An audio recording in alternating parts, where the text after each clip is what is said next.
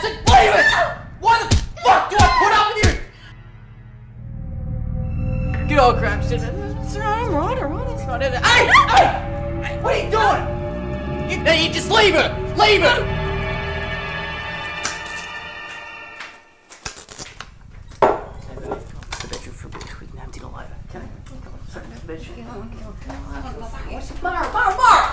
What, what is your problem? What is your problem? What do we got?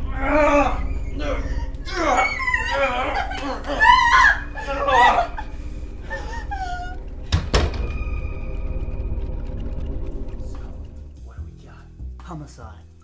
Looks like a case of the Black Widow syndrome. God damn it. James, Rachel called and she just broke up with her boyfriend.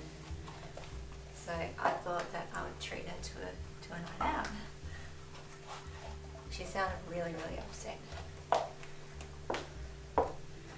James, I'm not anything without my lawyer. you know you could at least just pretend to care. Check the baby, please. I always have to fucking do everything around here.